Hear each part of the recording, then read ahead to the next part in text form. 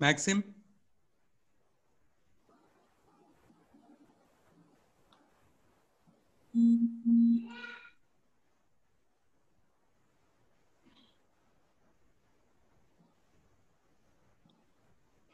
എല്ലാവരും video off ചെയ്യണം.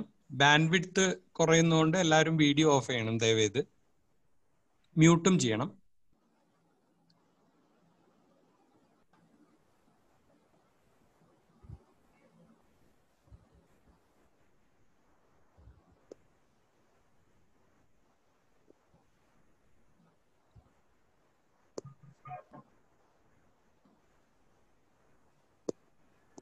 Hello.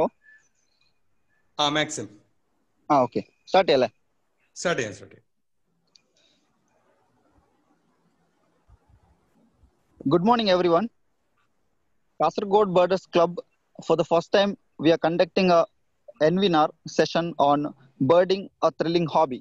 So this is the first time we are uh, going to conduct a webinar uh, online session.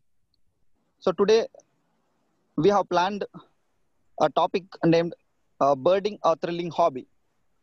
So today, uh, Prashant Krishna MC will be uh, giving a talk over birding and uh, uh, and its related its uh, hobby and related things he will be discussing prashant krishna mc is an avid bird watcher who is native to posadigumpe in north kasargod which is a well known location for raptors in the district kasargod he is actually interested and having a great knowledge of various fields in wildlife including specially snakes, amphibians, and spiders.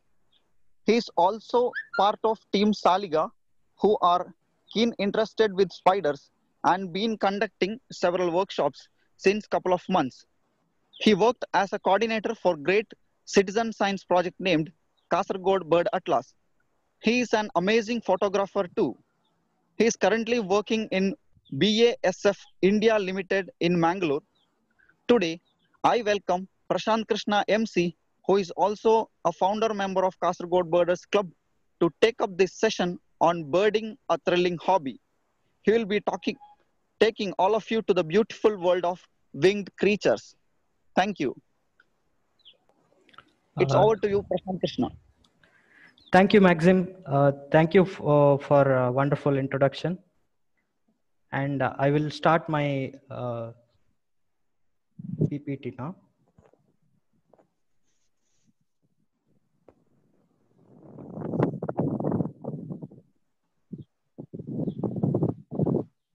So, uh, welcome all for uh, this session. I'm not an expert bird watcher, but uh, I'm an uh, I'm in interested interested in bird watching since uh, almost uh, eight years now. So I have been documenting birds and uh, their behaviors in uh, ma- uh, mainly Kasargod district of Kerala and also uh, Dakshina Kannada district of uh, uh, Karnataka. So uh, the over, over the years, I have doc, uh, seen some of the interesting behaviors, and I have read about uh, bird behaviors, and also I have attended uh, many sessions about bird behaviors. So uh, that kind of knowledge, uh, I thought of sharing uh, with you all. So today I am doing that, and that's why I gave the name birding a thrilling hobby. Initially uh, i was into birding because of my uh, one of my senior vinit kumar. He was a uh, zoology student and i was a chemistry student. But uh, due to my interest towards nature i uh, gradually hook up with the zoology students and uh, i started birding. So uh, he taught me the first lessons of bird watching bird identification and photography and uh, later i started uh, by myself and uh, gradually with the kasargod birders i mean maxim and uh, raju sir and many others i can name many. And with them we have done a lot of things in kasargod so so birding actually is a thrilling hobby for me. And when you start birding maybe uh, we have some beginners in this group or uh, maybe a few uh, elder bird watchers who are more experienced than me. And uh, uh, but still i am definitely sure that if you start bird watching then it will become a habit for you. I mean I, in the sense you can't ignore birds uh, whenever you go for uh, uh, field visits or uh, if you are doing some other work then again you will be searching for birds or uh, you will be hearing some calls and try to identifying that calls. So uh, here uh, you can see a small girl and she's uh, my cousin and she's also interested in bird watching now. Uh, she doesn't know uh, the difference between uh, many birds but she can definitely identify some sunbirds because regularly sunbirds visit her home and uh, she sees them a lot during her uh, uh, breakfast and dinner time. So what is birding? Uh, birding is uh, meant by uh, watching and observing the birds. And uh, there is no specific place for that. You can do birding anywhere. Uh, i mean near your home or you can go to forest or, or you can go near the beach. And uh, what mainly is needed is uh, the enthusiasm towards the birding and also the interest. Then you can see birds anywhere near uh, wherever you are. So there is no age limit at all. Even the uh, uh, small children's or uh, maybe the aged ones can do the bird watching. And it's i can say for sure it's very relaxing hobby because uh, uh, nowadays life is becoming more stressful. I mean uh, even the uh, covid situation and other things uh, they are making our lives more difficult. And in this situation when we want some uh, peace of mind we can go for birding. And when you look at this beautiful creature our mind will become calm down and uh, we will get that peace of mind what we were looking for. So uh, what you need for birding? Uh, that's the main question whenever uh, uh, we start birding we will get that question. What you need for birding?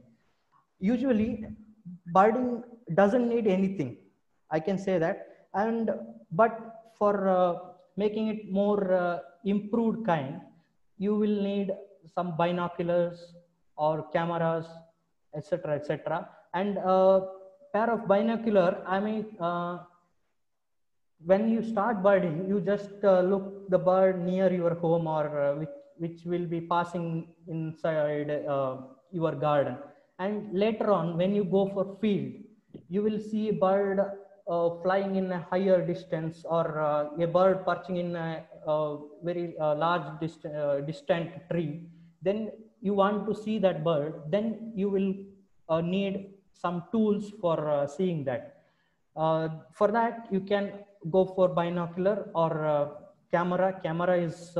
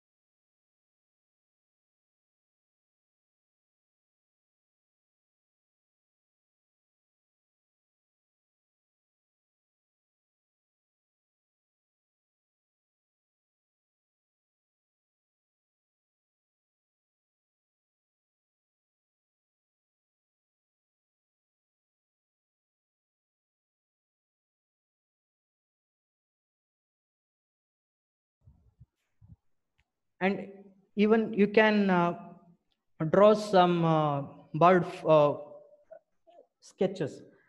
The previous days in the olden days you you might be knowing our uh, birdman of india is uh, the uh, dr salim ali. He used to do drawing. And after that after so many years the camera photography method started. And uh, i'm not into the conversation of cons and pros of uh, this photography but still when you do the actual uh, drawing thing you will come to know a lot about the uh, organism itself. So i think that's the best way to learn their behaviors. And uh, one very important thing is whenever you go for birding you just have to note down everything. I mean uh, if you are seeing a peacock uh, in the right side you can see a uh, peafowl and if you are seeing a peafowl and uh, if it is opening its train i mean it is attracting its female uh, attracting females then you have to observe at what time it is doing what what is the uh, weather condition there. Is is it raining or is it a sunny day? Like that you can note down. So uh, that at that moment of time you don't uh, you may not get uh, that importance of your writings. But after some time you will get to know uh, what is the behavior and how the environmental factors are relating to that behavior. So that's the thing. And next thing you need is a field guide. Maybe the beginners who want to uh, uh, identify the birds will uh, nowadays definitely there are a lot of sources like uh, our facebook groups and uh, uh, Whats- whatsapp platforms. There are many options like that. And definitely you can go for field guides where the photos of the birds and their di- distribution their their peculiar behavior all things are mentioned and you can get a lot of things from field guides. And even i started uh, my birding and uh, i brought uh, a field guide of uh, birds of indian subcontinent by uh, uh, inskipp inskipp and inskipp. So and i also had birds of india by dr salim ali. So both the book i was referring and i was saying that our uh, facebook group indian birds there daily there there are uh, there will be lot of photos up, updating. So you can come to know different species of birds through them. So the main thing what you need for birding is just enthusiasm for uh, learning more things about birding and also the patience. Patience is very important because uh, uh, whenever you go for field you should not uh, go in hurry burry. I mean uh, you should not disturb the uh, environment so that the birds will get distracted by your presence and they will fly away. So that should not happen. Just you have to go with the go with very carefulness and uh, you have to wait for wait to observe some uh, behavioral uh, tactics very patiently and also for photography the patience is very uh, important because uh, only uh, if you wait for an hour or so you will get some beautiful shots of the bird so that's about uh, hello hello Prasanta, hello one, one minute. uh-huh. Yeah. Um, uh, the voice is breaking continuously. oh is it uh, so my network is Since the connection, I think connection Yeah, is a little little problem. Okay. Voice is breaking continuously. uh-huh now now is it audible Now it is all audible. Yeah. okay okay so uh, yeah i think network issues there but i will try my level best here and now uh, Okay. what is a Okay. bird shamata is it okay now It is. It is okay. It is okay now. okay okay and uh, what is a bird that uh, we have to a- again, there is problem. Prashant, again there is problem a little bit. okay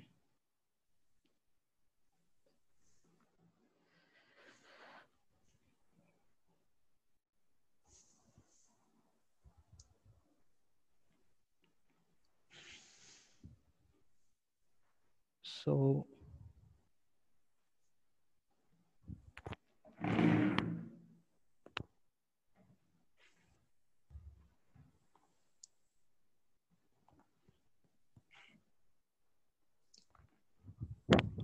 hello, hello, Shamat. Yeah. Yeah. Uh, Now it's better. It's better. okay. Uh, still the message is coming. Your internet connection is unstable because of Yeah, that. yeah. Uh, uh, uh, I think I think it is breaking a little bit. Uh, it is not in a full sentence. That is a problem. Oh, okay, okay. Uh-huh. So I Now don't also have- there is problem. Uh-huh.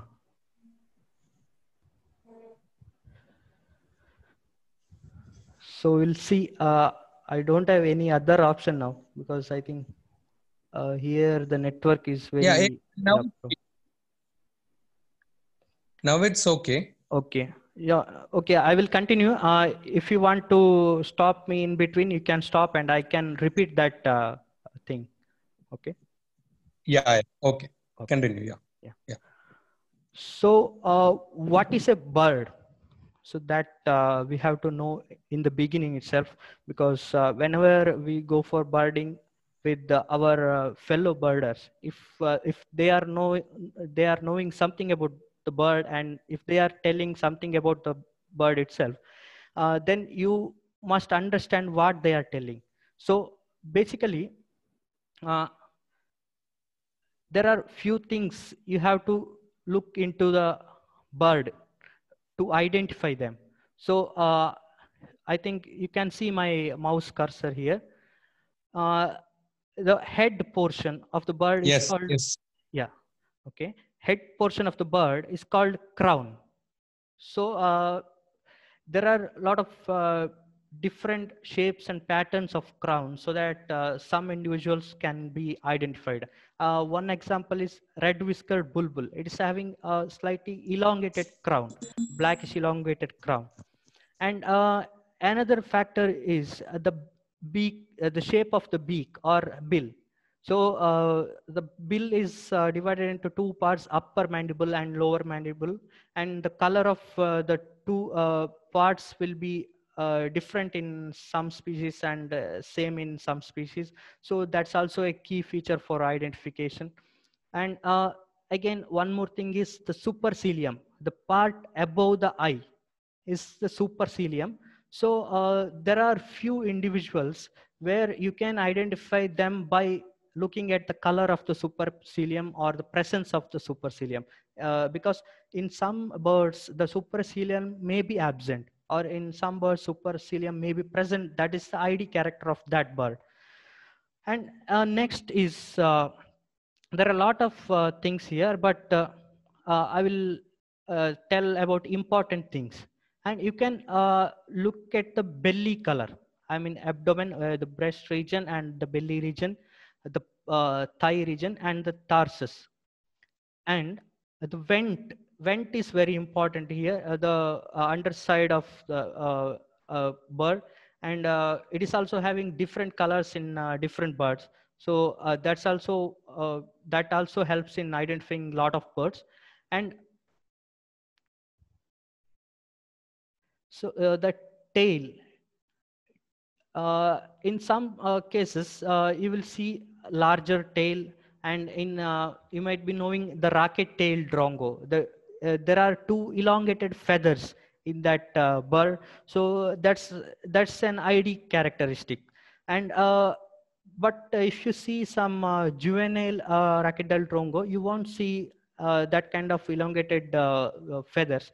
But the tail itself the tail end itself suggests uh, the bird species. I mean, uh, the forkness of the tail, uh, how it is bent, uh, like that you can understand a bit by bit by learning uh, about the structure of tail. So next thing you want to know is the mantle. Mantle is the upper part of the bird. I mean, I can say the back of the bird So uh, that's also having different colors in uh, different birds. And also uh, if you are uh, looking at pipits, you have to see stri stripes over the mantle and uh, spots over the mantle like that. So that's also an important character. And uh, next, if you look at wings, there are, you can see the primaries the primaries will reach up to the tail in some birds and uh, it won't reach up to the uh, tail tip like this. Uh, so uh, these are the first set of uh, feathers, flight feathers. These are the primaries and uh, the next set of the feathers are secondaries and here there are greater coverts median coverts and lesser coverts. Lesser coverts are very much close to the body of the bird and median coverts, they, they are small, small birds, they small feathers and the uh, primary primaries are the largest feathers. So uh, most of the time uh, by looking at the color of the primaries and the length of the primaries, uh, uh, we can identify certain species of the bird. And the rump, the uh, vent is the uh, part below the abdomen region and that is underside of the bird. And above that i mean opposite side you can see the rump. So uh, in some birds like uh, or red-rumped swallow and all you can see the actual reddish feathers in rump area. So that's also an uh, important uh, characteristic. So uh, next thing is nape nape is uh, like this is crown and uh, this is neck region of the bird i can say. And this area the neck region of that uh, uh bird is called nape so uh, lesser yellow nape woodpecker if you know then you can identify uh, you can imagine what is what exactly is nape that lesser yellow nape is having yellowish color in the nape area i mean neck area. So uh, that's also an important characteristics characteristic. And uh, yeah i think uh, ear coverts and all they are uh, not required that much. These are the main char characteristics uh, you can consider crown uh, the bill shape and this abdomen region tarsus vent undertail coverts primaries tail rump back, mantle, and nape. You can uh, just try to remember that. Okay. And uh, about evolution of birds, uh, actually the birds were uh, uh, said to be evolved from uh, the ancestors like serpents. Serpents, I mean by snakes and other reptiles. So in the dinosaurs era, uh, previously it was thought that Archaeopteryx is the origin, original form of a bird. I mean, uh, in the dinosaurs age, uh, they found Archaeopteryx uh, fossil. So they thought only the Archaeopteryx was uh, its original, from where the bird got evolved. But recent fossil studies proved that uh, this Sinosauropteryx prima and uh, uh, some other individuals, other paleontological individuals, they also proved to be an ancestors for even Archaeopteryx. So uh, uh, they started evolving like uh, they their toes previously the dinosaurs were having five toes and later they uh, become three toes and the median toe become uh, elongated. Like that uh, when you see the birds now you can uh, correlate that uh, thing with the earlier uh, the serpents. So it Ichthyornis dispar is the paleontological thing what scientists got recently. And it is almost like uh, these uh, prehistoric uh, birds. So after that, after the winged birds evolved, there were a lot of co-evolution or extra evolution. And from that, the wingless birds evolved. I mean, uh, if you are thinking that uh, wing, wingless birds evolved uh, before the wing, winged bird or flight bird, uh, which uh, the birds which can fly, but it's not like that. The birds uh, which can fly evolved first, and after many evolution, then uh, the uh, the birds which cannot fly like penguin and other birds evolved. So uh, there are a lot of theories regarding that and uh, it's some uh, slightly complicated thing. So we'll move to identifying birds. Uh, I just told you about uh, the parts of the bird and while when we try to identify birds, we can check for a few characteristics like color, color of the birds and pattern uh, patterns of the birds. I mean, what pattern you can see over the bird, shape of the bird and size of the bird. Especially shape and size gives a lot of information about the species.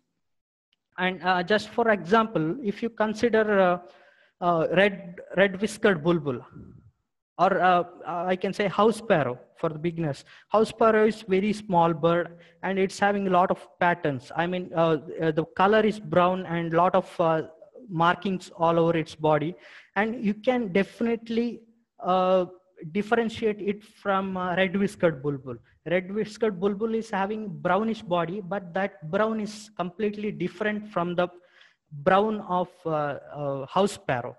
So like that you can differentiate. Even the size and shape also matters. So uh, shape in the sense uh, some birds are slightly uh, looks like elongated birds and uh, some birds are uh, slightly roundish birds. So like that you can differentiate and uh, based on their flight also you can differentiate uh, and that's not easy for the beginners i can say uh, because each bird will have some specific kind of flight if you look at the flight of woodpecker they will have undulating flight I mean, uh, they will go down once, they will climb up once, like that they will fly.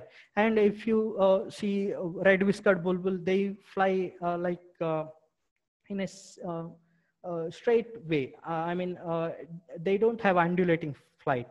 So if you look at vernal hanging parrot, their flight is different. Like that, you can differentiate them by flight.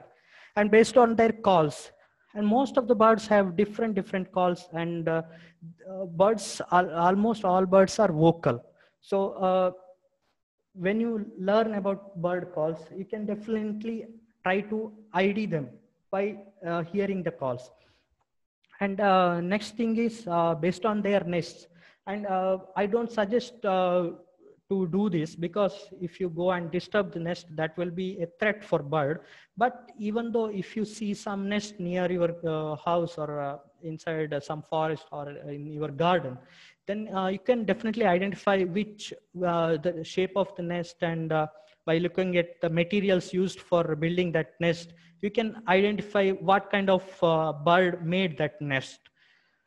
Usually we are seeing a lot of red whiskered bulbul nests in our uh, in our surroundings and uh, nowadays i i saw a lot of black naped monarch nests uh, uh posted in uh, facebook and other groups. And especially when you go for birding you must know what kind of habitat you are entering into i mean if you are entering into wetland then you you wetland uh, i think all of you know about wetland. Wetlands are the areas where water uh, will be logged in. I mean for uh, most of most part of the year water will be there uh, and only in the uh, hot summer or maybe during uh, may april may time uh, the wetlands some part of the wetlands will be dried up so if you are going to a wetland kind of habitat you must know what kind of birds you are searching for at that place. So then only uh, you you will be successful in identifying birds there.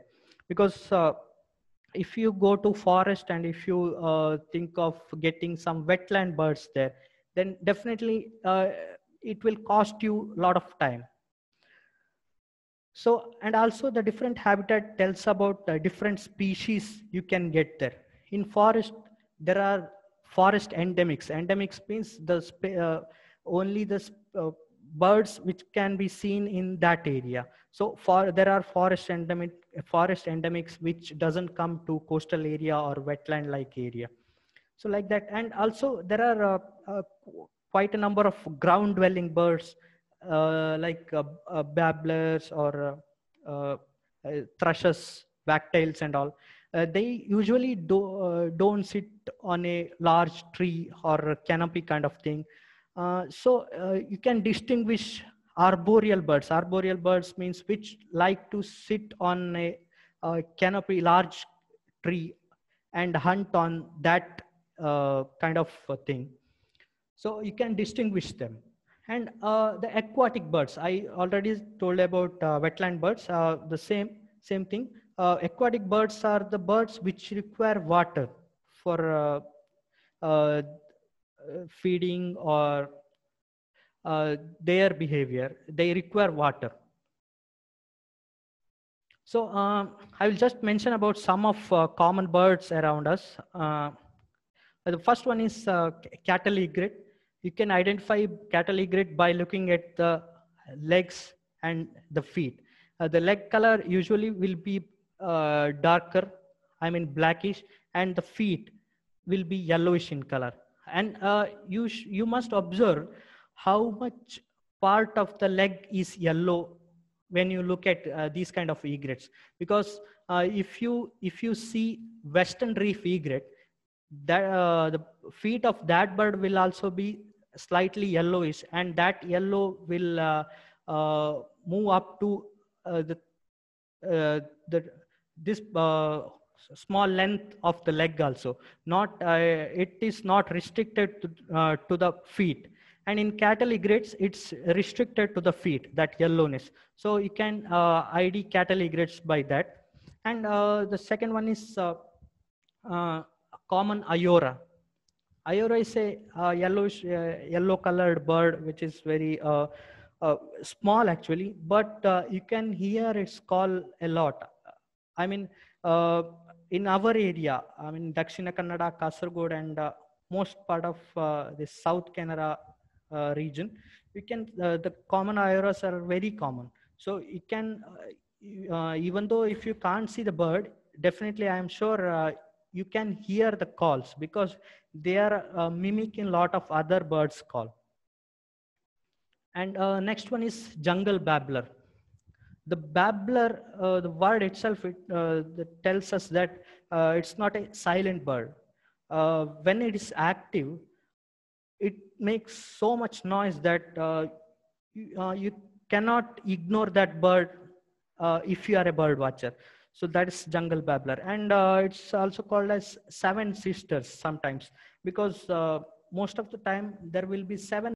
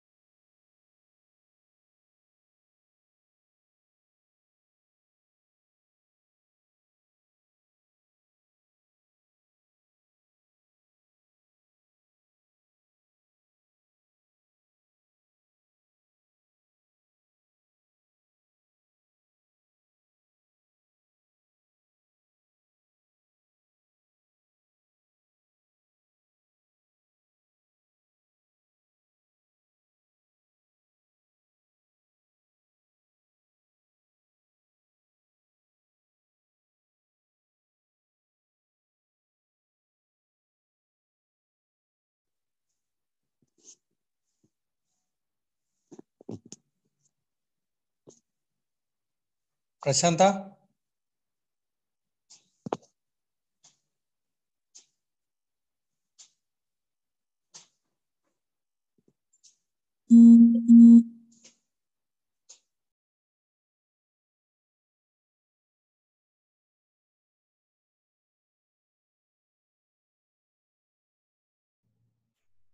Hello, Shamata.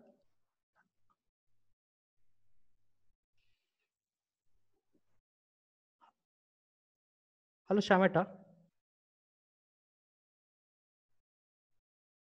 हाँ हाँ hello hello prashanta uh, am i audible uh, uh, you are audible uh, your screen is not sharing yeah now your screen off now now now no not yet okay अच्छा type कुछ करती हूँ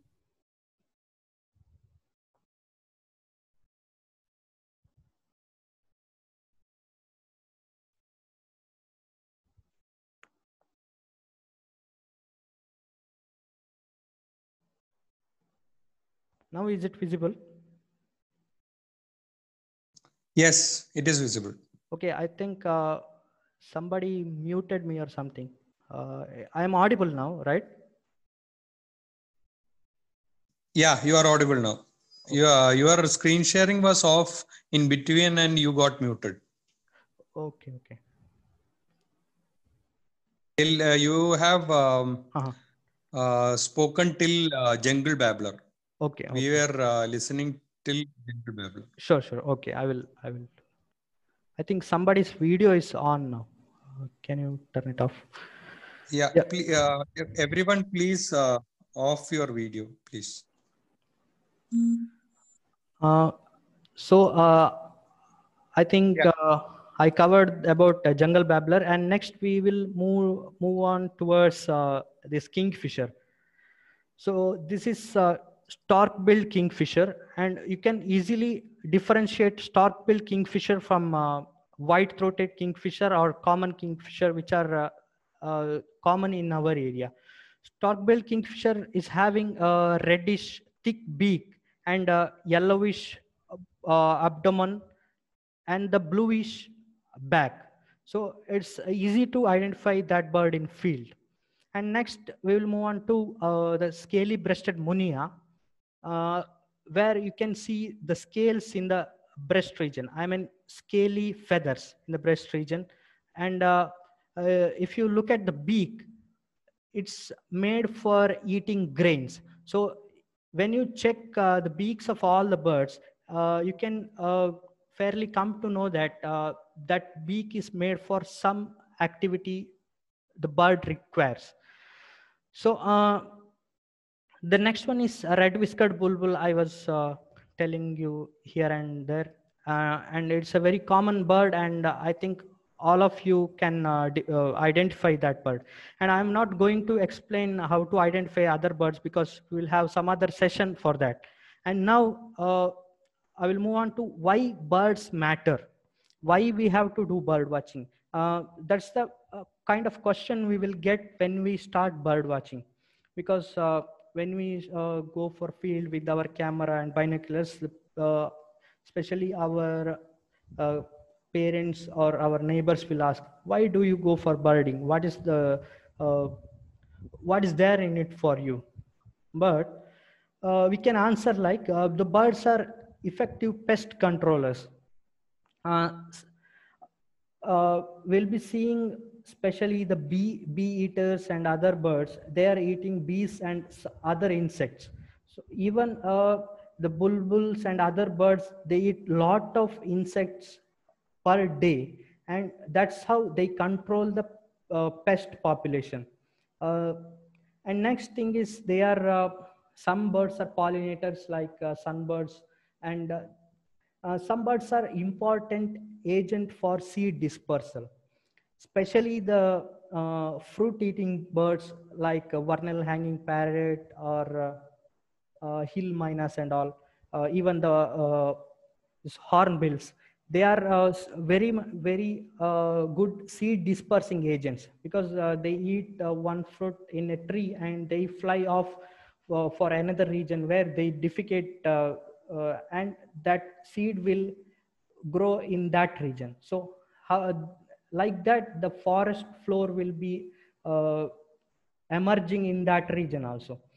And uh, few birds are uh, scavenge act, act as uh, scavengers especially the vultures.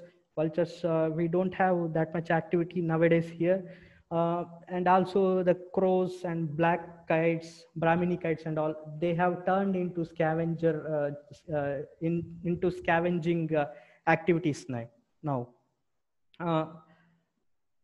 and next thing is uh, keeping ecological balance by becoming prey for other organism. I mean, uh, the smaller birds become prey for the bigger birds. Uh, the warblers and other smaller birds become prey for uh, the larger birds like hawks, eagles, uh, and other, uh, uh, even the mammals also. And nowadays we have to talk about the economic benefits also. Now the bird watching in India is become a, uh profitable business. Uh, in Kerala, if you see Thattekad region and also uh, in um, northeastern region, if you see there are a lot of organization uh, which can organizes uh, bird watching tours. So um, birds are uh, their uh, birds yield their daily bread like that. So they are uh, ben- beneficial economically also.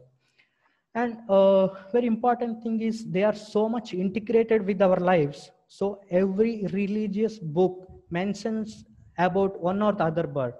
Uh, if you consider uh, Quran, Bible, or uh, Bhagavad Gita, everywhere, or in any mythology, any religious mythology, if, if you consider, there will be mention of at least one or the other bird. So uh, they are uh, integrated in our system. So birds, uh, birds matter to us. And uh, how we can um, conserve and uh, about uh, documenting the birds. The conservation issue mainly comes because we are having trouble with the habitat loss. Habitat loss habitat loss is causing severe threat for birds. Uh, uh, if you consider the migratory species, uh, they will come to one wetland one year and next time when they come to that wetland they will see some uh, uh, uh, some buildings or some flats or some agricultural land over there so people are turning forest area into uh, agricultural area or uh, wetland area into some uh, uh, business uh, yielding area like that. And so the birds are losing their habitat and that's the main threat. And uh, nowadays hunting and poaching has become uh, slightly less compared to the olden days because uh, uh, i think maybe the need is need has become less or the people are educated not to do that thing. So uh, we can we can just ignore that thing hunting and poaching. But even in some part of uh, uh, kerala and karnataka we will still see that hunting. Uh, the main victims of hunting main hunting are uh, the jungle fowls and all.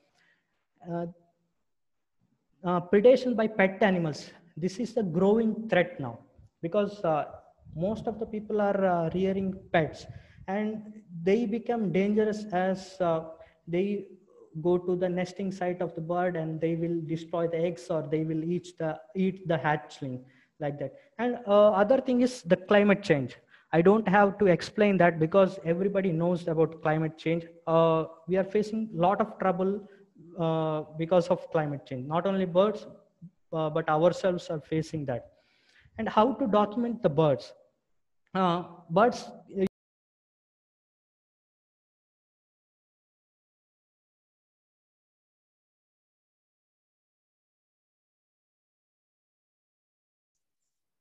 Prashantha, again, uh, screen sharing is off.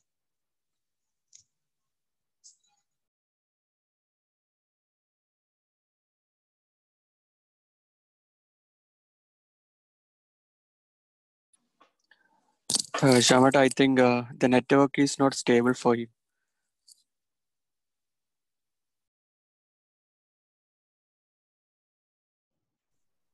ആയിരിക്കും may be yeah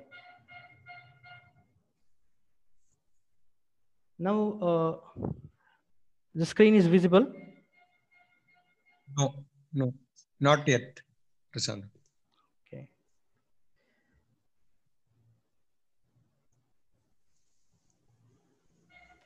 Now I think it's visible, right?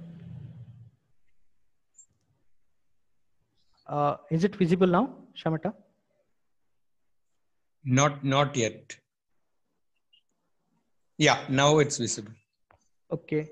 Uh, so yeah, uh, you can document the birds using eBird, iNaturalist, Indian Biodiversity Portal, and uh, you can just upload your photos in social medias so that they will be collected uh, somewhere and uh, in future, scientists can uh, uh, just look into your uh, data and uh, analyze them. And even the participating in various citizen science programs like Great Backyard Bird Count and Onam Bird Count, like and Endemic Bird Day, like that. You can input your data so that it will help in the future. Like that, uh, if you are not conserving the birds directly, you can just become a citizen scientist and you can document the things.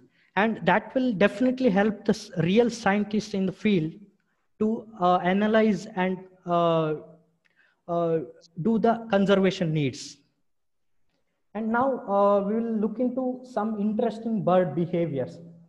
Uh, here you can see a uh, male peacock with its beautiful train. Train means the feather feathers and uh, it's uh, attracting the females. Uh, it it is trying to attract the females around. So uh, there are uh, competitions for uh, one male because there will be plenty of other males around and it has to show its full capacity to attract the female. Like that in most of the birds they have to attract the females by one or the other thing. You might be uh, seen uh, the videos of uh, uh, birds of paradise from papua new guinea. Uh, they are very uh, very much quite quite interesting behavioral adaptations. And in india i think maybe we can say only the peacock is the one bird which shows that kind of tactic. Um, I will look into uh, some interesting things about uh, bird behaviors.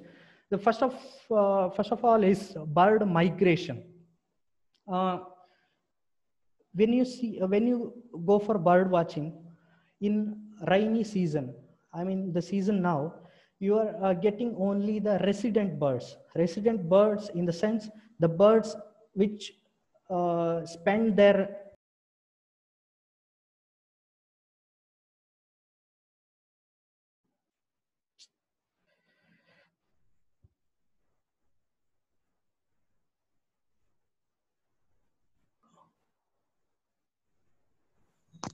Prashantha, Yeah, it yeah. again when Yes. I think uh, un- the network is very much unstable. That's why. Now, now is it visible? No.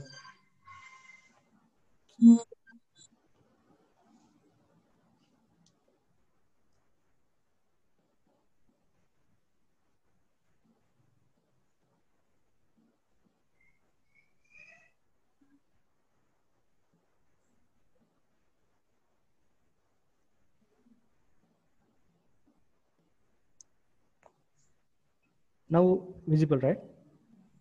Yeah, yeah.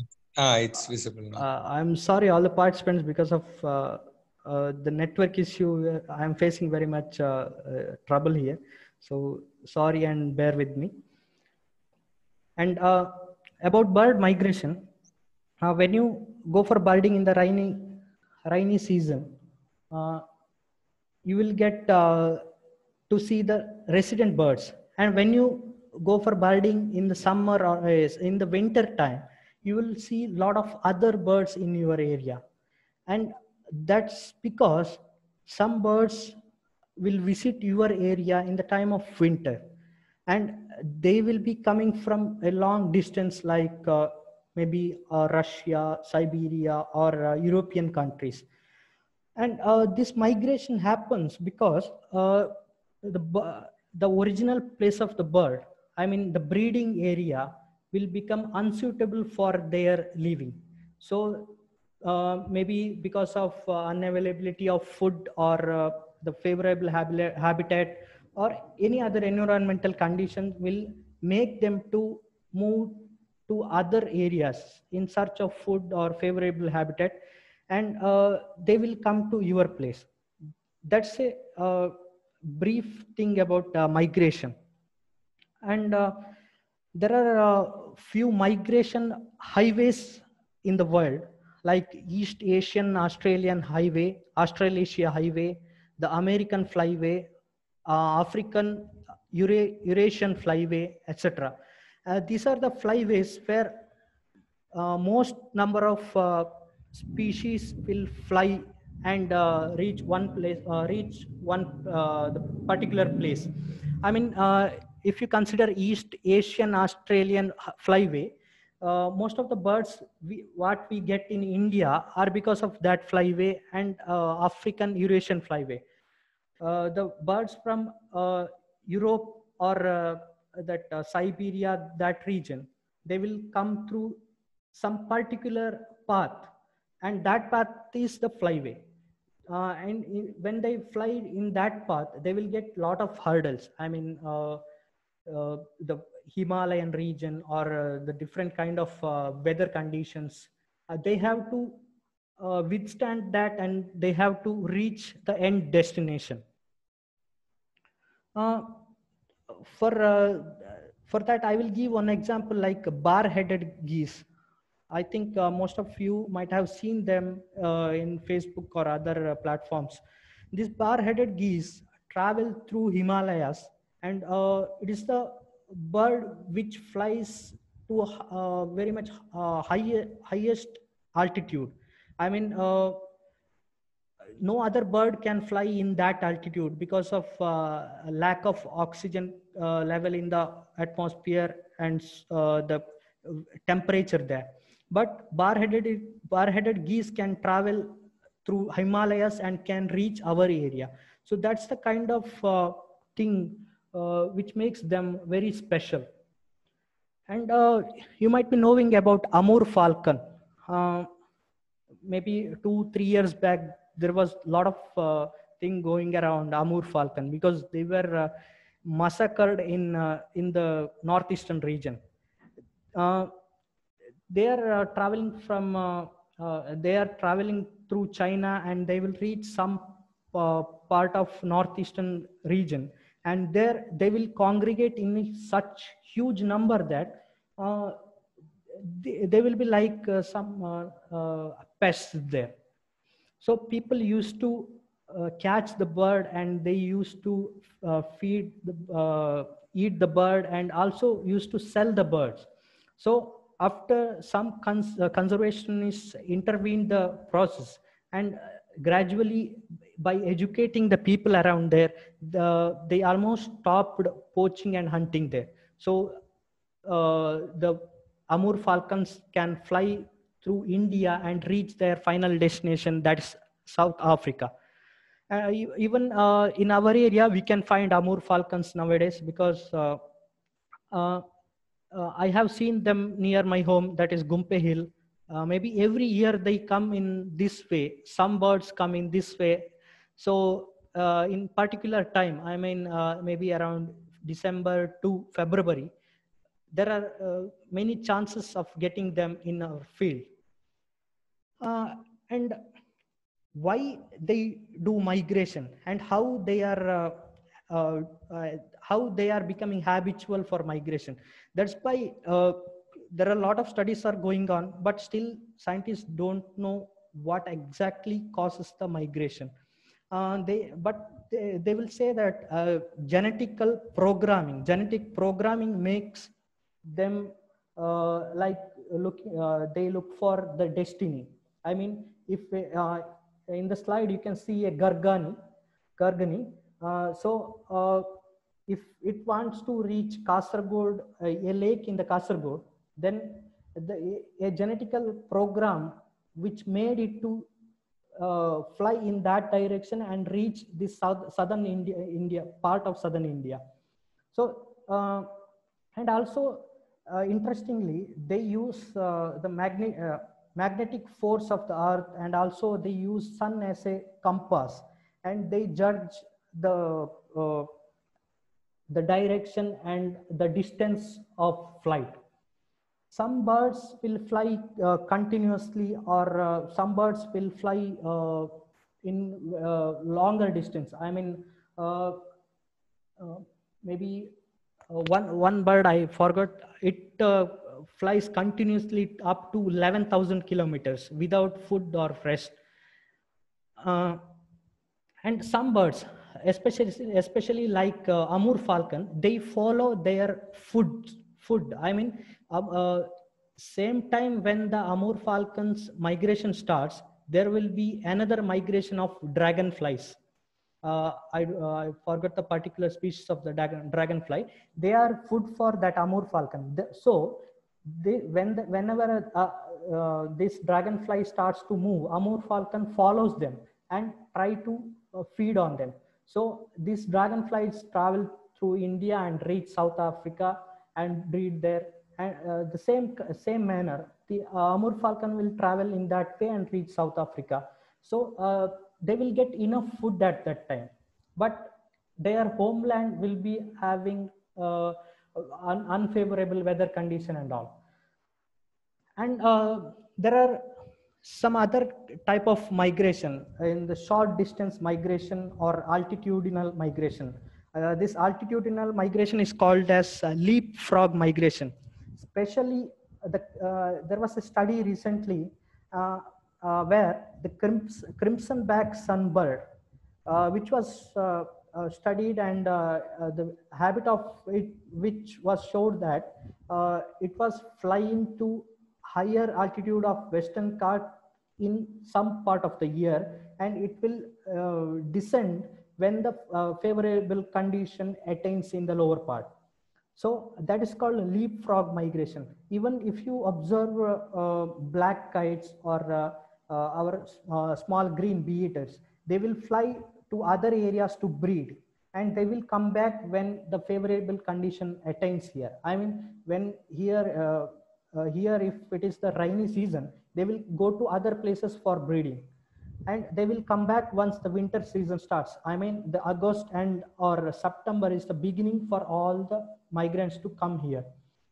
And uh, uh, this is about uh, migration and thing. And there are vagrant birds or nomadism. Uh, sometimes what happens is whenever we go to field we will see some exotic bird in our area. Uh, like uh, it is if a bird has to be seen in uh, northern part of india if it is found in southern part of india then it can be a vagrant bird.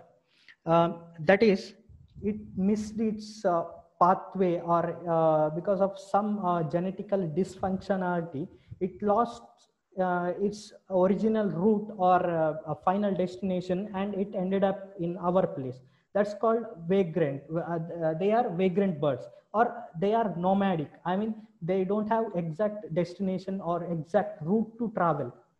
So uh, then the birders will be really lucky to see them. So that's about bi- bird migration. And next about uh, i will talk about little bit about uh, pelagic birds. And uh, these pelagic birds also for our indian part they are almost all are migratory birds and they spend spend their entire uh, almost entire life in the uh, sea or ocean itself. Only for breeding they will come to shore or uh, the land. Uh, here first of all uh, first one first bird you are seeing is arctic arctic skua or it's called as a parasitic uh, it's called as parasitic jaeger means it is a parasitic bird that means it steals food from other birds.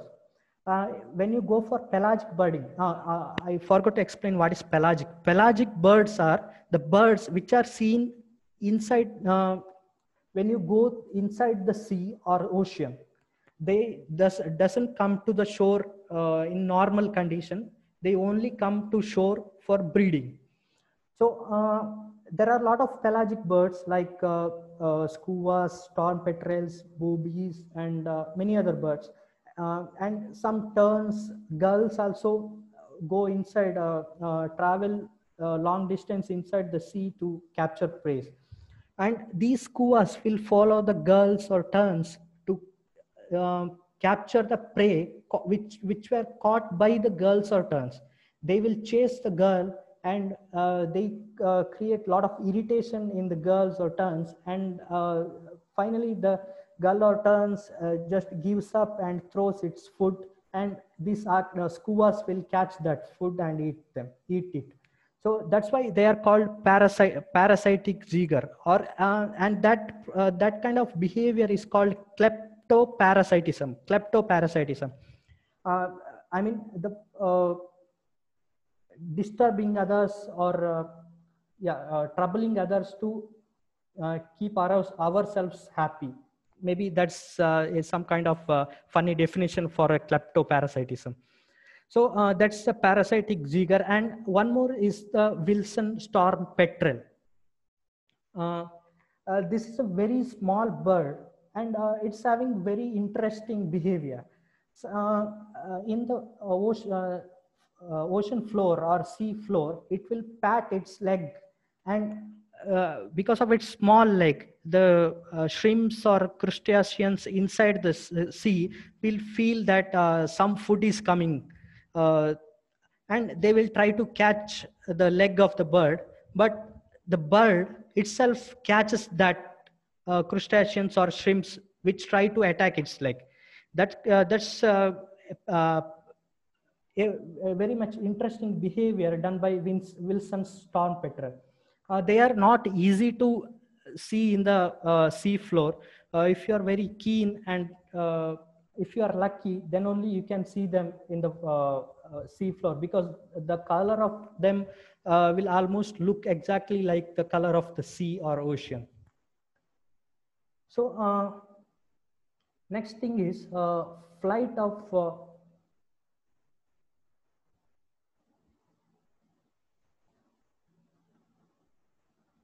flight of raptors and hovering of kingfisher.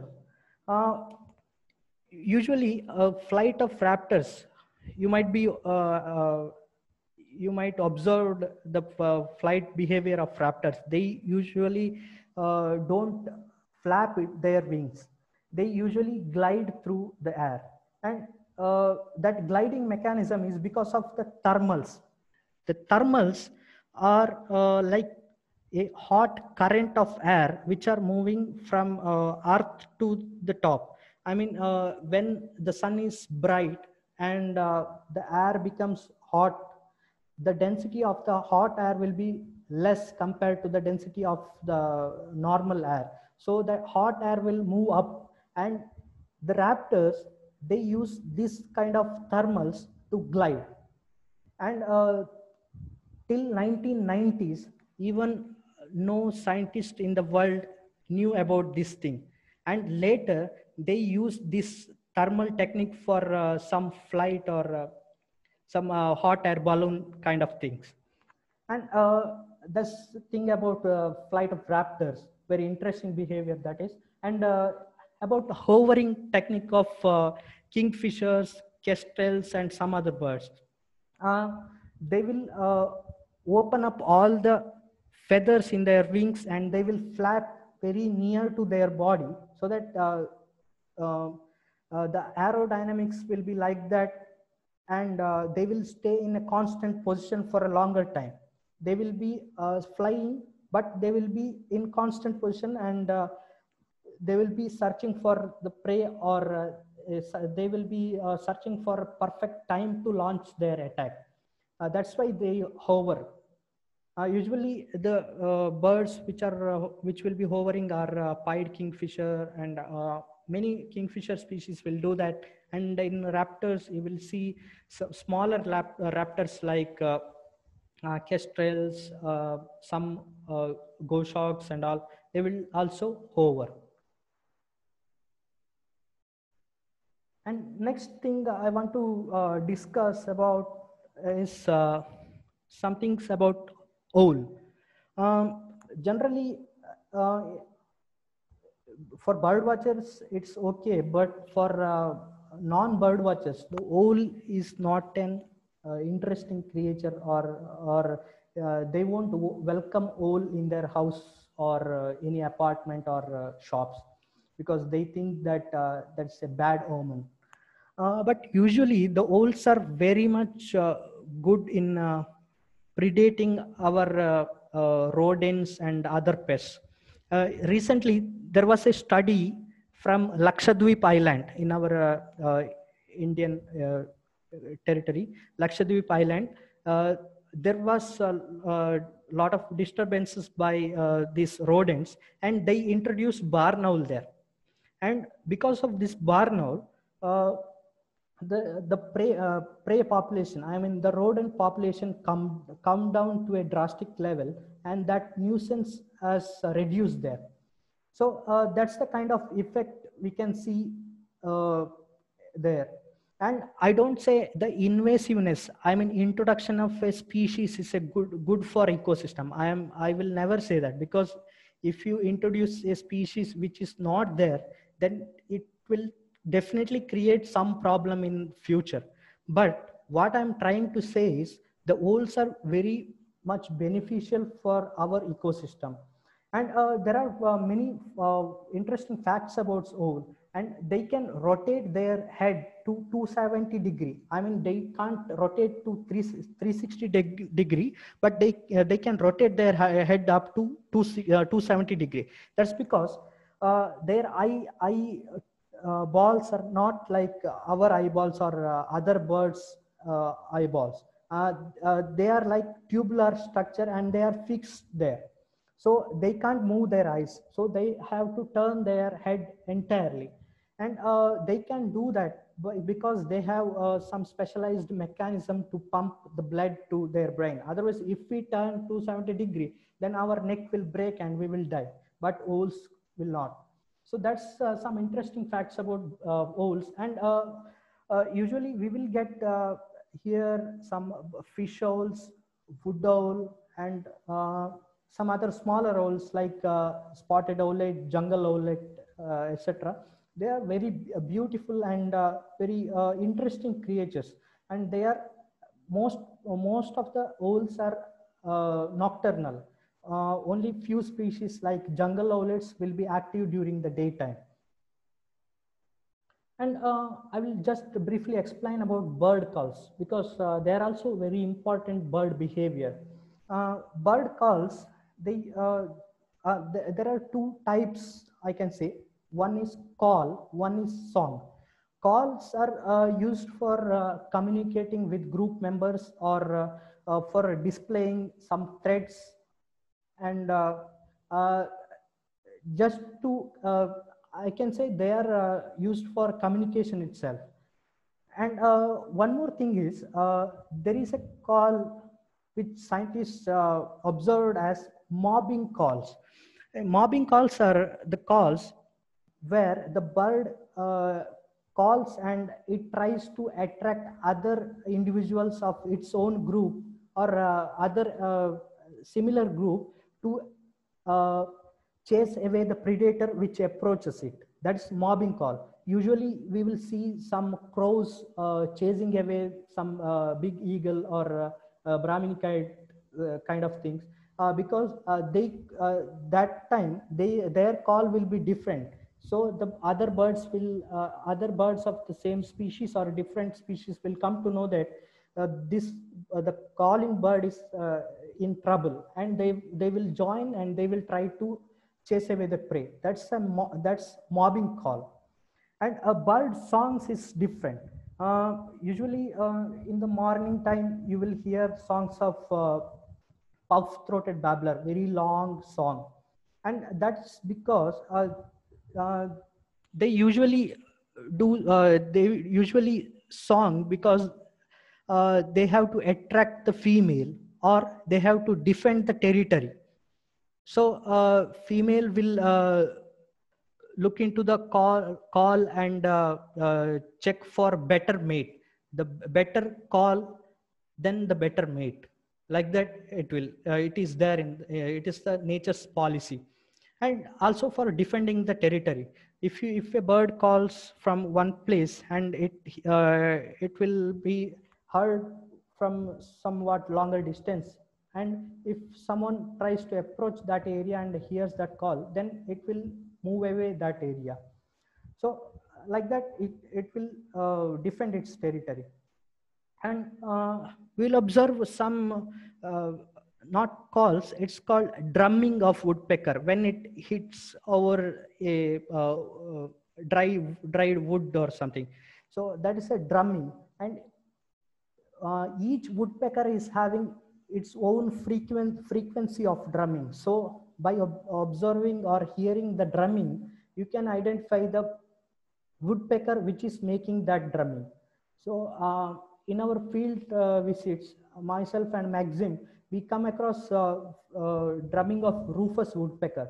It was very, uh, the frequency was very high so that in the beginning, we, we were unable to think that it was because it was done by rufous woodpecker.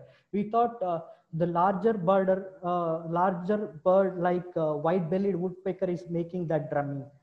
But later, uh, once in a once in the field, we observed rufous woodpecker making that drumming. So we came to know that the smaller small uh, smaller bird also can make so uh, the drumming in that much high frequency.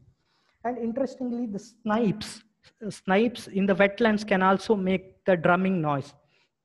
Drumming means that uh, they will rub their uh, tail feathers uh, in the uh, time of their courtship and that will create some kind of sound and that's also called drumming.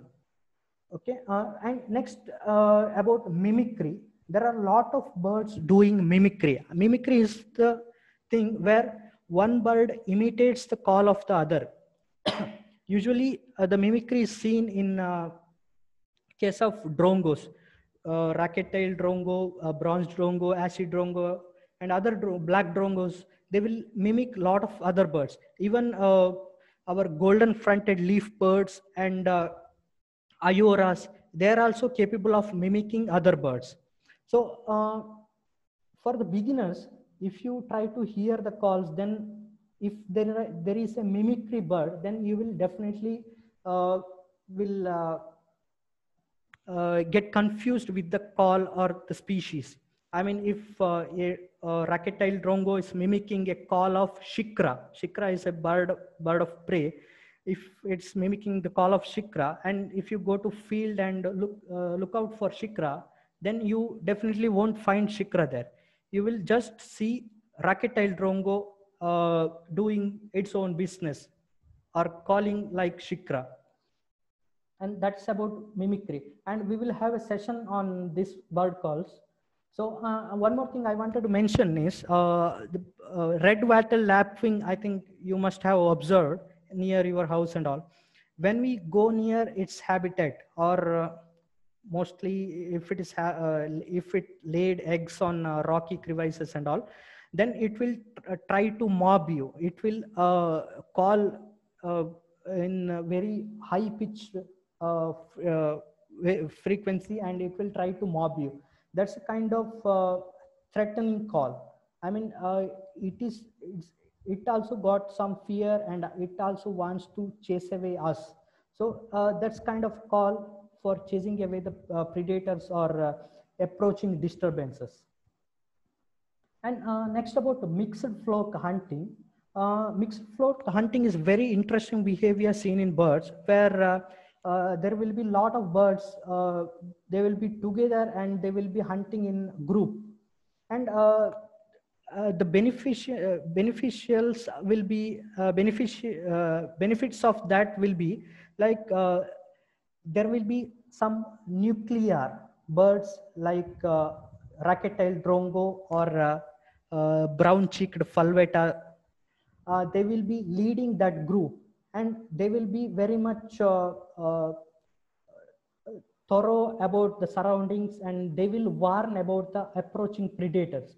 So other birds which are uh, going with them will immediately become, uh, uh, uh, they can defend themselves easily.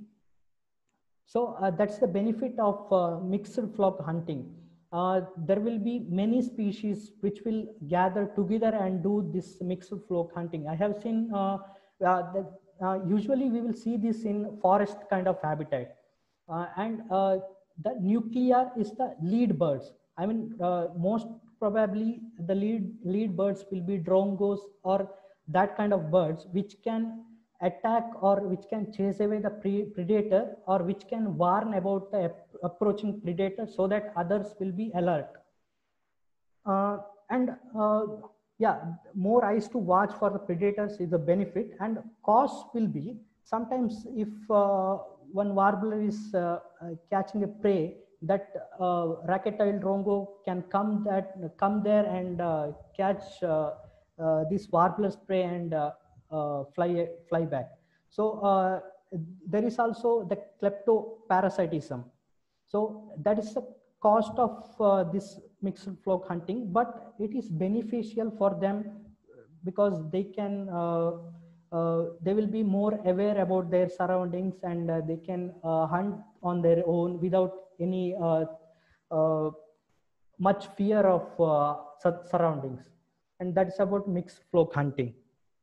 And about nest building, I will say there are few types of nest.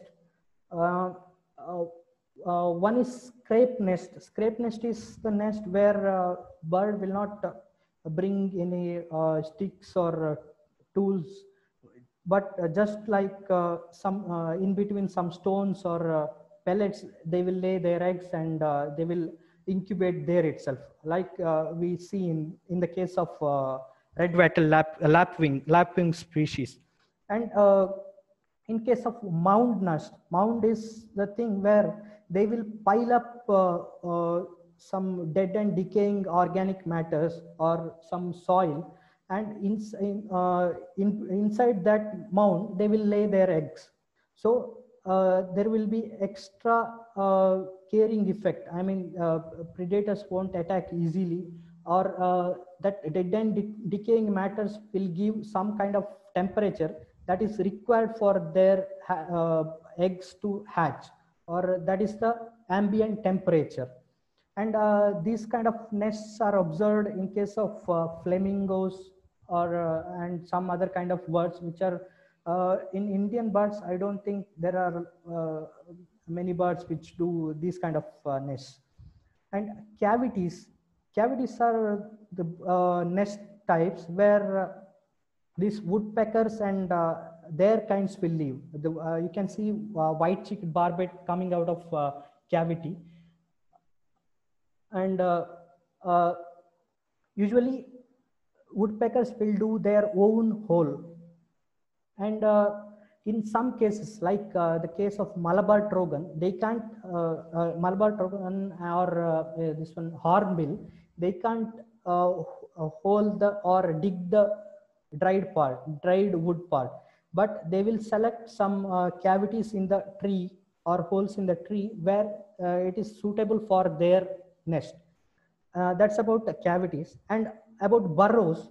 Uh, if you see the nests of uh, kingfishers, then they will be uh, in the burrows of some la- land edges.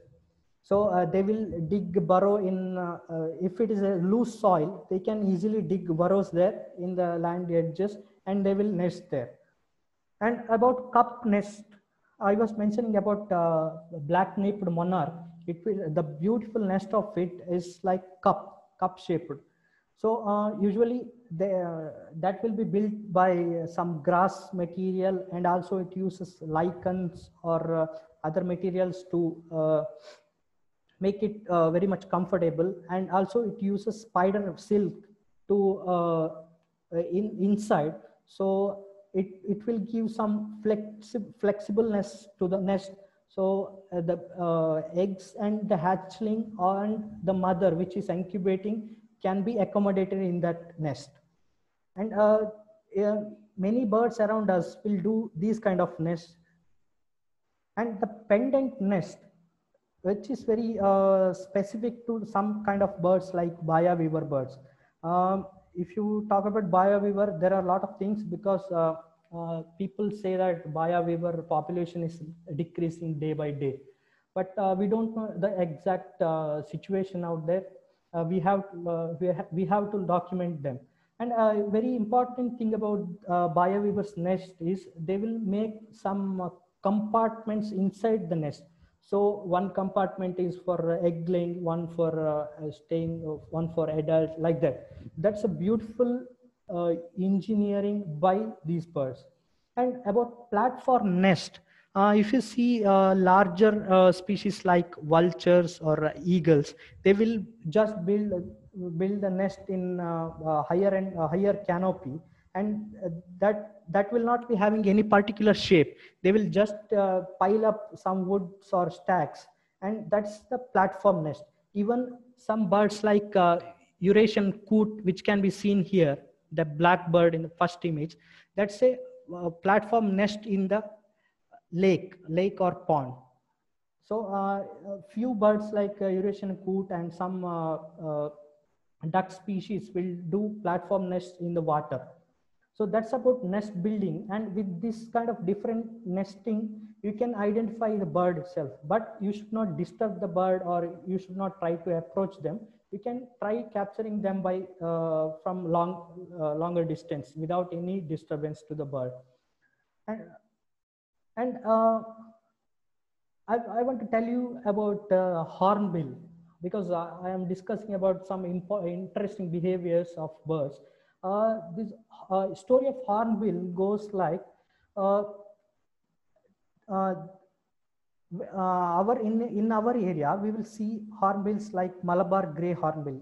They are small hornbills, but when we go to uh, the areas like Thattekad or uh, uh, Dandeli in Karnataka, we will see larger hornbills like great hornbill and all. They their beaks will be very heavy, and uh, because of that, their uh, axial and atlas vertebrae in the neck region will be fused up so that they can withstand the weight of that beak because that beak will be heavy and uh, uh, there is an extra growth in the beak that's called casque that will help uh, to uh, enhance the sound or call created by the bird Uh, but we don't see that casque in our malabar grey hornbill or indian grey hornbill and uh, important thing about uh, hornbills are they are monogamous birds. Monogamous means uh, they uh, stay with one female. I mean one family for entire lifetime, and they use uh, a nesting site and they uh, regularly using they will be regularly using that uh, nesting site for many uh, years if there is, there is no uh, disturbance or there is no habitat destruction. And when the nesting time comes these females will go inside a tree tree hole or cavity and it will uh, conceal itself there and only some portion of the uh, tree hole will be visible.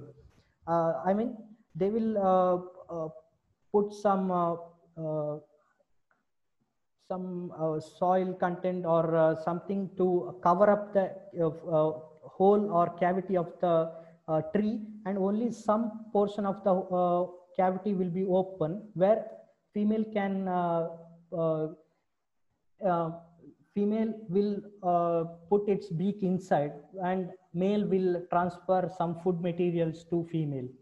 So the entire nesting time so in the entire nesting time the female and the hatchlings will be inside this uh, cavity and it cannot come outside.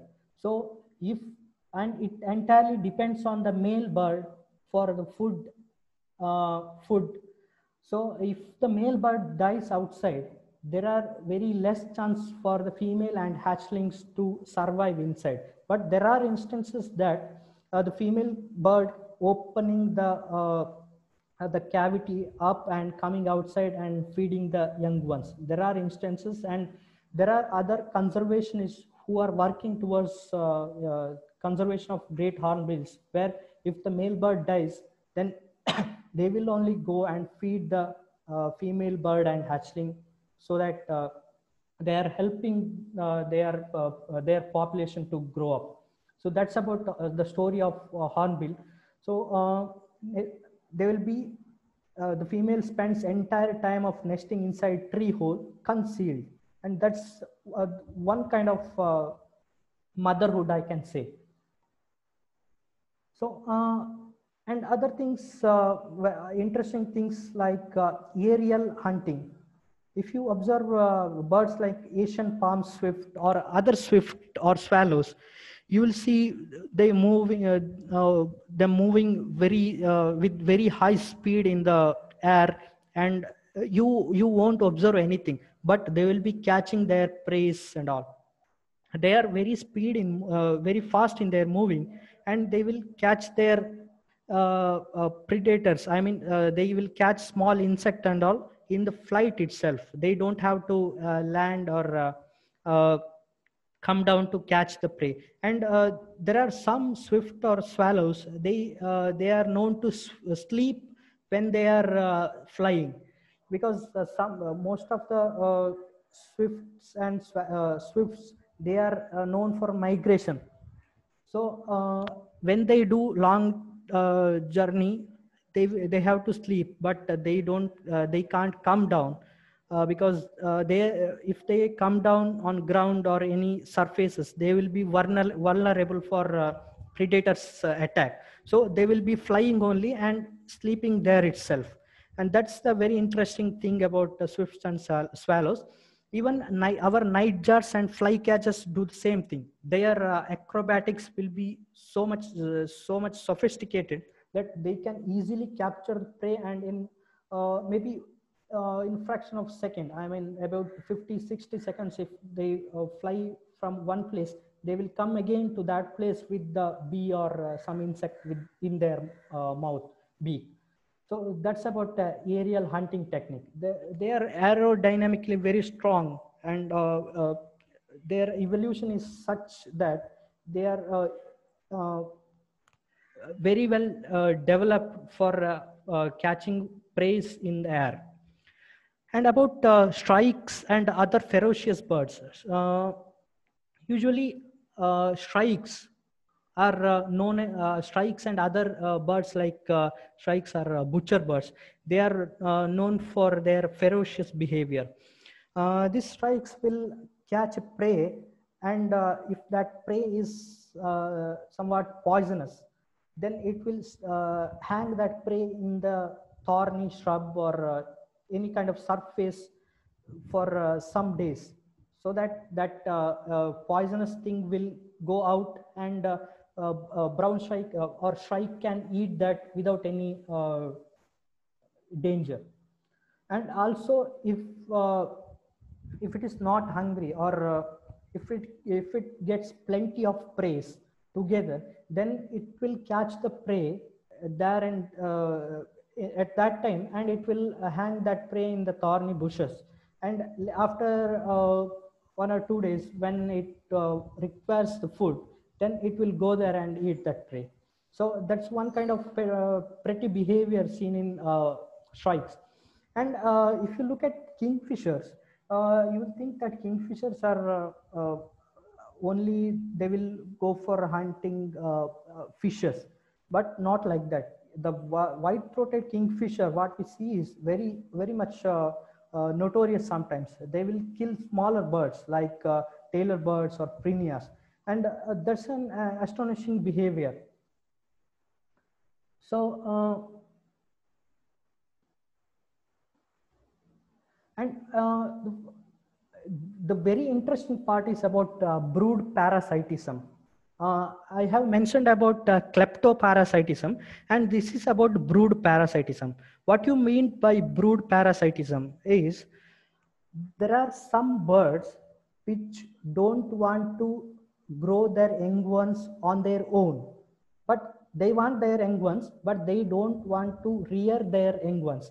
But they will keep their eggs with in some other bird's nest and uh, they will leave it there. And that uh, the uh, where they will keep the nest that bird is known as host and this one is the uh, parasitic bird.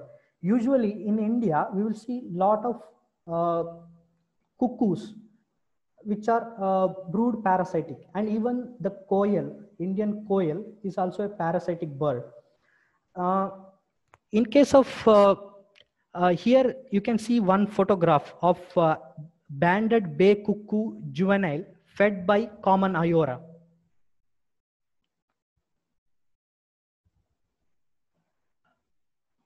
Uh, common iora. So uh, in case of this, you can uh, just uh, differentiate the size of banded bay cuckoo and common iora. Uh, there are a lot of interesting theories behind this brood parasitism and uh, I will slightly take a few minutes to explain that. Before that, there are two types of uh, brood parasitic, parasitism. One is facultative and another one is obligate parasitism. Uh, facultative means uh, sometimes bird will feel that uh, I can rear some of my eggs on their uh, uh, my own. I can rear some of eggs, but I don't want to rear all the eggs. So they will keep some eggs in other uh, birds' nest uh, maybe that is interspecific. Maybe uh, interspecific means uh, the nest of same species or intraspecific means nest of different species. that's facultative means it will rear its, it can rear its young ones, but sometimes it will lay their eggs in others nest and it will leave them. And obligate parasites, para, parasites means uh, they they don't build nest or they don't lay their eggs on their own nest or something like that they just uh, when their breeding season comes after mating they will lay their eggs uh, nest uh, eggs in uh, some different host nest and they will leave it there that's obligate parasite uh, parasitism and there are interspecific and intraspecific interspecific means sometimes if you see the common crows they will lay their uh, eggs in some other common crow's nest and they will leave it there. So that's interspecific parasitism, brood parasitism. Intraspecific means uh, the photo what you are seeing is an example for intraspecific. Banded bay, uh, banded bay cuckoo mother lay, laid their egg in Iora's nest and Iora is rearing that chick. That's intraspecific. And here uh, comes the story of brood parasitism. Uh, you might be thinking, how come this small bird rearing that uh, entirely different looking bird? Uh, that's maybe because of uh, uh, the first thing is when brood parasitic bird lays the egg in host nest, it must be sure that the host will not throw away the intruder's nest. So there will be egg mimicry. I mean, if uh, uh, the uh, common Iora's eggs are having some uh, some color. I mean, uh, for example, if it is blue in color, then definitely the banded bay cuckoo's eggs will be also having that color.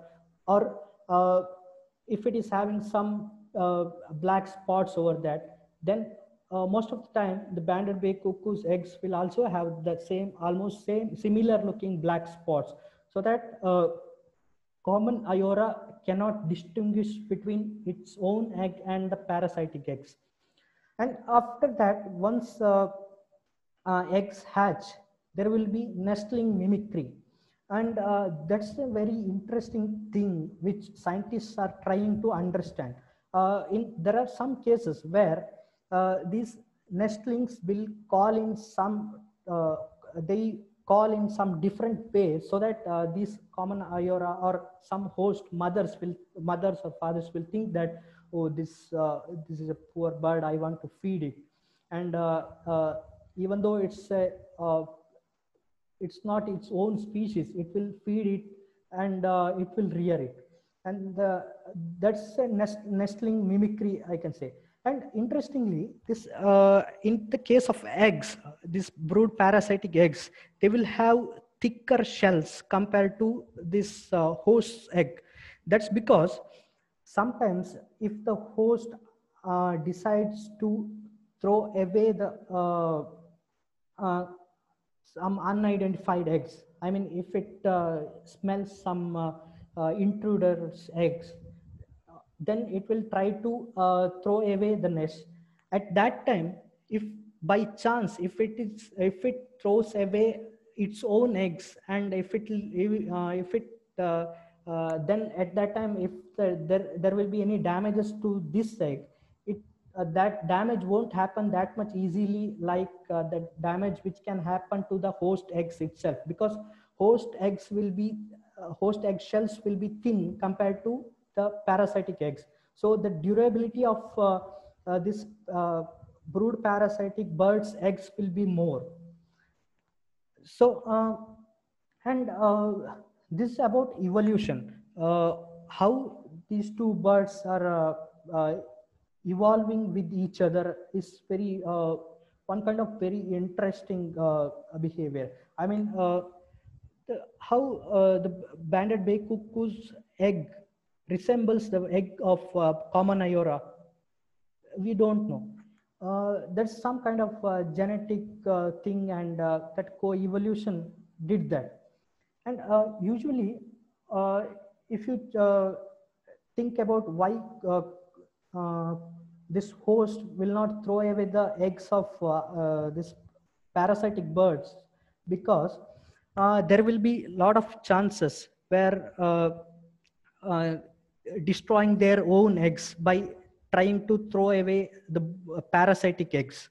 So usually they won't go for that. But uh, ultimately they have to suffer the loss by, because uh, after the hatchling comes these uh, cuckoos will uh, just kick off the rest of the eggs which were laid by host itself and just uh, it will be alone and it will be uh, fed by uh, these parents profusely. So it will grow easy, very fast and easily.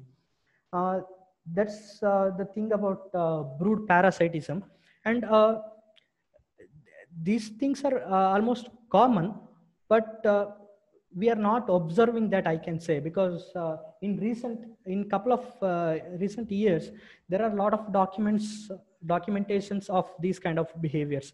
I'm just mentioning about banded bay cuckoo here but there are a lot of cuckoos in uh, our country like common cuckoo uh, common hawk cuckoo uh, large hawk cuckoo and uh, in south northeastern countries there are a lot of cuckoos emerald cuckoo and all. They are all parasitic and they are dependent on other birds. And uh, uh, one one thing i wanted to tell is uh, some birds are specific to their host. And uh, uh, these parasitic birds they want to lay their eggs on that single species or only few related species otherwise their eggs will be identified the identified by the prey.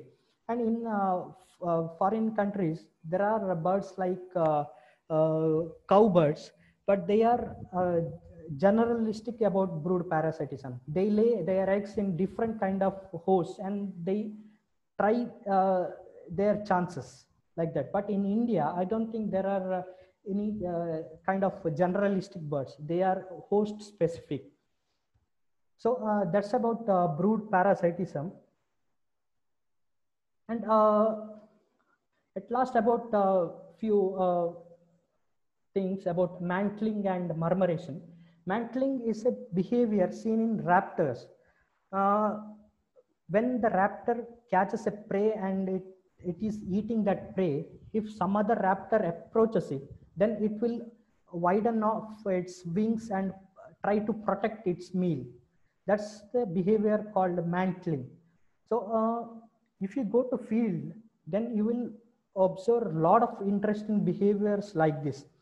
So uh, even we can correlate that thing with ourselves. When we are uh, when we, we are uh, children, we will try. Uh, uh, sometimes we will try to eat the chocolate by ourselves. Ourselves, not to. Uh, we don't uh, don't like to give it to our uh, sisters or our friends.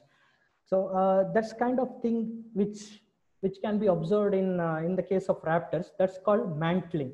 And one more thing is, uh, in case of starlings, especially rosy starlings, we will see a, lot of congregation. I mean, congregation means they will group up. There will be lakhs of birds in some uh, some uh, places there will be lakhs of birds they will be uh, joined together and they, they will form they will fly in the evening time and they will make some different uh, uh, uh, different kind of shapes. That's called murmuration. And scientists uh, don't know why they are uh, doing this. Maybe because uh, they want to uh, escape from uh, uh, predators or is there any uh, other benefits from this kind of murmuration? They don't know. And they are uh, trying to understand the physics behind this murmuration also. Because this murmuration will when we observe that murmuration we will see that lightness and darkness in different time intervals. So whether that is important for that bird we don't know. So the, there are still studies going on about this murmuration. So like this there are many lot of interesting behaviors in uh, in birds which we can only see when we go to field and observe them for longer time. And uh, when you try to analyze it then you will come to know the reason behind it or uh, why do they do like that so uh, this is about uh, interesting behaviors and uh, so finally we can save ourselves when we try to save our fellow beings and thank you thank you for listening Thank you. Thank you, Prashant. Um, now we can um, at 10 minutes for uh, uh, any any question and answer. Is it fine? yes yes sure shamita Uh, uh, if any question is there, uh, you can always uh, chat in uh, chat in the chat box, or you can unmute yourself and ask the question.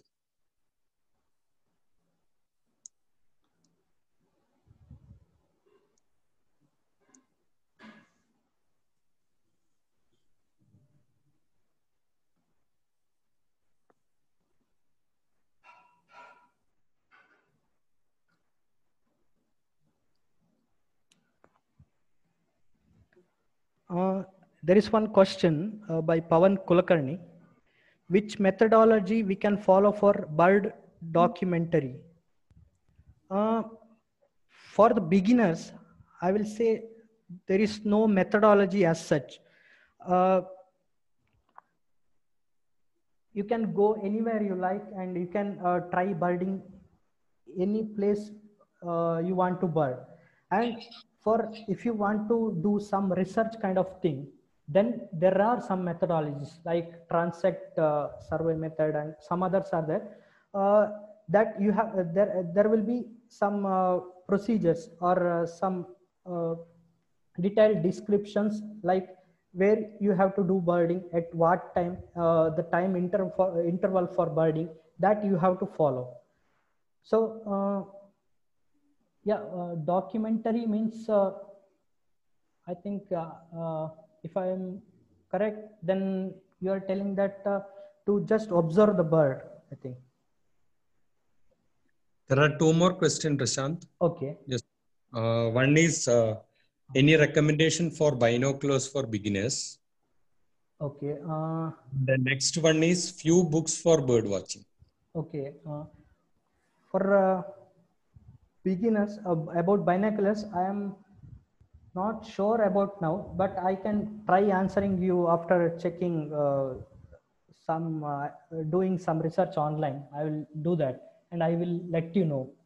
But i am having nikon uh, uh, binocular but right now i am not using that. I am just using my camera. So i'm not uh, that much familiar with binoculars but binoculars are very important and i can tell you uh, which are which and all binoculars you can use for uh, uh, bird watching. And uh, uh, suggest few books for bird watching. And mm, i will say for beginners there is a book by dr salim ali about birds of india that you can purchase or you can go for birds of indian subcontinent by authors carol inskipp and uh, richard grimmett inskipp and inskipp so there will there are three authors. That book is very much good and you can go for that. And if you want still more then you can there are a lot of uh, books like uh, book uh, uh, the uh, book by rasmussen. That's the one one of the book which all the experts will use. So, so for the beginners, I think you can go for uh, uh, Birds of Indian Subcontinent by Dr. Salim Ali or uh, Birds of Indian Subcontinent by uh, uh, this one, uh, Inskipp and Grimmett. And that one more, this one, I don't know, remember the exact name. Bird, that's the by Pamela Anderson and Rasmussen, I think. And uh, one more question by Pawan Kulkarni. What about roosting behavior in birds? Yeah, uh, different birds are having different roosting behaviors. If you see uh, uh, this one, uh, red-whiskered bulbul, they will uh, sleep at night in some bushes or some normally they don't they don't want some forest kind of thing or uh, this one uh, even I, I have seen uh, red whiskered bulbul indian paradise flycatcher and uh, some others some other birds roosting near my home maybe they are feeling like when humans are there near to them uh, they are much safer than if uh, if they are uh, sleeping outside. So uh, and uh, in case of uh, green bee-eaters, they sleep uh, they roost in a group. Uh, I I remember one occasion in uh, uh, during my college days I, when I was doing uh, my MSc in Mangalore University. I used to visit visit. There is one place called Yakshagana Kalamandira. There I used to visit in the evening, and there I was I was seeing a lot of green bee-eaters in the evening. I was thinking why they are coming in that that much number. And uh, later in uh, when I visited at night for uh, looking for nightjar, I found a acacia tree where they they were roosting. There were many in number, and here the group uh, the uh, they are in groups so the if there are any predators then they will confuse the predators by flying here and there or calling them or they can just attack on them uh, attack on the predator. So that is the strategy there. So uh, different birds will have different roosting behavior. So we have to uh, study that and we don't know about uh, don't know roosting behavior of many birds. Uh, is There is two. Yeah, continue, Prasad. is there any instrument for acoustic study of birds? Uh, yeah there are uh, acoustic study means uh, we can record using uh, very sophisticated mics. I mean there are uh, mics which are used by scientists or uh, this bird call experts. They uh, that uh, that will almost diminishes the noise uh, created uh, in the surroundings and they, they will uh, selectively record the bird calls or the calls which you want to record. So there are uh, instruments and uh, we will have a session for that, I think, in the coming days. And I am not thorough with that also uh, because I remember something like uh, Sennheiser made mics are available for that. And there are softwares which which are used to uh, improvise your recordings like uh, uh, there are uh, some softwares that also I, I have to uh, search and I have to answer that. Uh, we will have a session for that in the coming days, like the calls, mimicry, and how to study the calls. We'll have the session for that, and there we will discuss these things about acoustic study and all. Can you name one uh, beautiful bluebird shown in the slide while explaining platform nest, I think. Okay, one minute. I think uh, it is black-naped monarch, Prashant. Okay, okay. Uh, thank you, Shamata. Uh, yeah, might be that one only.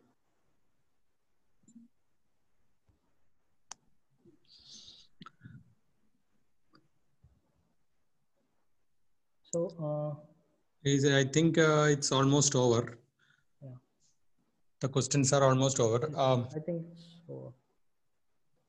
Uh, Sonita MS is telling kingfisher in our area will eat dragonfly as a food. Yes, of course. Uh, kingfisher eats variety of foods. So the it's like uh, uh, it will eat uh, fish, it will eat dragonflies, it will eat small birds also. And I don't know. I there are i think there are some documentation of it eating some uh, small rodents also. So they are ferocious. That's why i mentioned it. So please document these things and keep it with you or you can upload it to public platform. That will be very much useful. And i think that's the end of questions here yeah. Over to you, Raju sir, uh, for the official thank you note.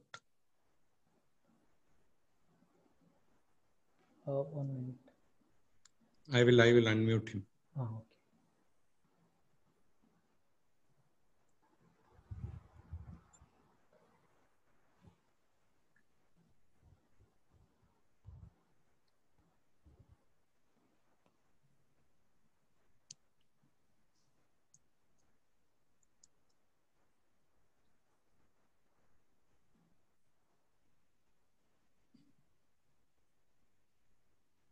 Raju sir. Hello. Yeah, I can we can hear you, Raju sir. Oh, okay, okay, okay. Uh, so a thrilling hobby. Yes, we are all thrilled by your wonderful session by uh, our dearest Mr. Prashant Krishna MC. Uh, thank you, sir. Thank you for your uh, valuable time for this uh, uh, long two hours. Uh, thank you. Thank you. Thank you, Raju sir, and uh, thank you all. And sorry for uh, this. Uh, I had many technical glitches, I know, but very sorry for that. I think uh, rest of the session was okay and audible. Yeah, Prashant. It, it was it was audible after that, and um, I will I am uh, I'm happy to extend uh, our uh, thanks from Kasaragod Birders to all the participants who has patiently listening to our webinar. Thank you, uh, thank you, participants, and we we one more uh, we, we will be we will be we will be having these webinars uh, now and then. Uh, please extend your uh, helping hands and please join us for the webinars, upcoming webinars. Thank you. Thank you.